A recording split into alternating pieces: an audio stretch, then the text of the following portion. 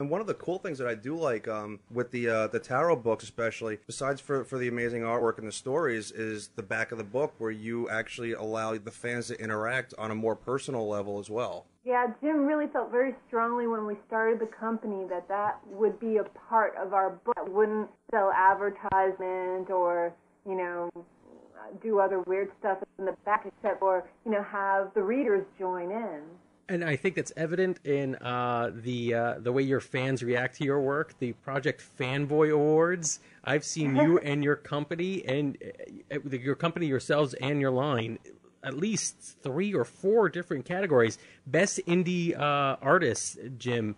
Uh, best indie title, Tarot Witch of the Black Rose. I mean, it goes on and on. And these are from the fans themselves. Yeah. Yeah, we're we're very thrilled. Uh, we're very surprised, and you know, anything that our fans gives us, whether it's gifts or or votes, uh, we we just feel so humbled because really, if it wasn't for those guys, you know, we wouldn't be doing what we love. You know, we'd have to find other jobs.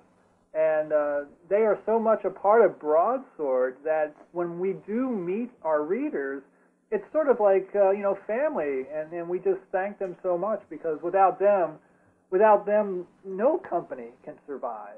And uh, I, I saw that when I was on Catwoman. I saw that when, you know, no matter what book I was on, uh, the devotion that readers have to a specific character, I think, is very important.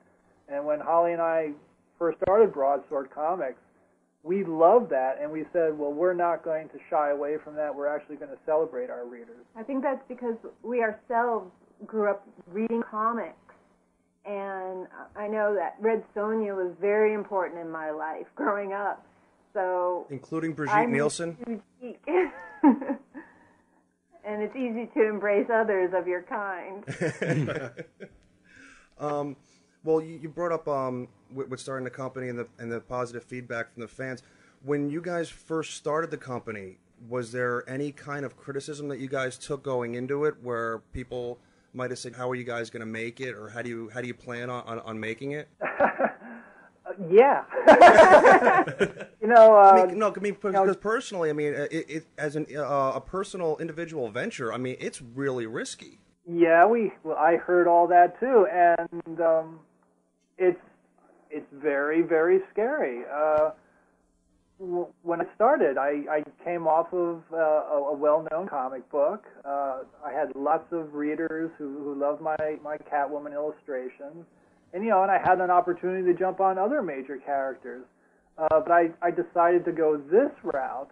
And I've had several people 10 years ago who supposed to have known this industry have told me that Tarot Witch of the Black Rose will only reach three issues that I will be broke and I will be looking for work. And to know that going in and knowing how much money comic books, uh, how much money you need to, to put out to print a comic book, it's very, very scary. So, like 10 years later, I'm, I'm on issue 61. Um, you know, there, I, I always believe, I always sort of have this fear that, you know, it can always go away. But there's a part of me, and I know Holly enjoys knowing that our fans supported us for 10 years, and uh, the risk was worth it because we're doing something we love, and uh, I'm really happy that so many readers love what we're doing. Awesome. Now, uh, real quick, uh, how about we get a little bit in, into the process of putting an issue together? I mean, because you guys are constantly working. Um, give me a normal wake up in the morning, and where do you start? Great question. I love that question because Holly and I were so much schedule people. Okay, here is our typical day, people. Um, we're up around maybe eight or nine. Uh, we do our breakfast, our emails and I try to make sure that I'm at the drawing board at 10 o'clock. Then from 10 to 12, I, I work, and then Holly is on the computer. Uh, 12 o'clock, we break for lunch, and it's usually maybe maybe about a half hour long. Mm-hmm. And then from 12 to 3, we're back working, wherever we're doing. Uh, three o'clock, we take like a 15 minute break, which could be, An apple. yeah, just a snack. And then from three to five, we work. And then five o'clock, we eat supper. Well, I usually break around four. I cook dinner. I'm I'm very into cooking. I'm a big foodie, and I like to mainly cook organic. All right, actually, we're we're, we're having a, a little bit of an issue with a lag with the phone, so we're gonna just take a moment real quick and see if we can get that back up and going. It's what- it's part of what happens. This is live radio. Yes, You, know, you never know what's going to happen. And as a reminder to our listeners, check out www.jimbalentstudios.com. Right. Uh, great website for everything you want to know about tarot. Uh, I'm looking at it. it's amazing the stuff, the great tarot products you can get. Oh yeah, totally. They've got a whole line of tarot fragrances. Yes, Uh, it's awesome. I, I mean, it really, really is. All right, we should be back online. um, I find basically we got we got so many calls at the point we were talking about being a foodie that the lines just exploded. Are you serious? Yeah. I, I do believe so. Is it my mother? So uh, yeah, what what else do you have? What other hobbies keep you guys busy? Because I mean, I, I know you love your work, but But it, it's can't got to drive you crazy if you're doing seven days a week in, in front of a board or, or a computer screen. Well, um, we're gamers.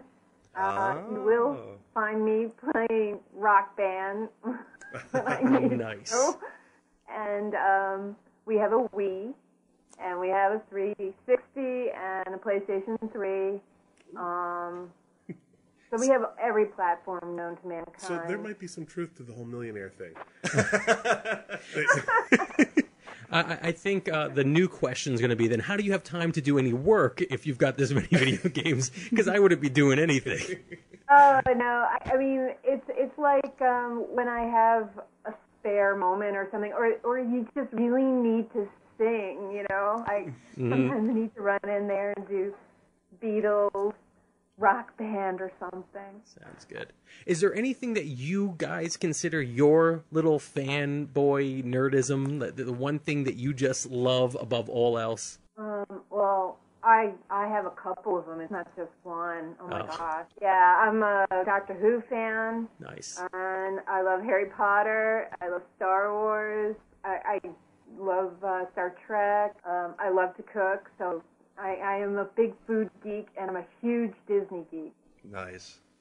Very good. Very good. It's it's good to know your fan base by being one of them. Oh yeah, because uh, every time we go to a convention, Holly always checks out what Star Wars actor is going to be there. And I interview them. I have film. I Wow. edited it. Yeah, I asked David Prowse what his favorite dessert was. Oh, get out. Yeah, and then I tried to do karaoke with him that night too.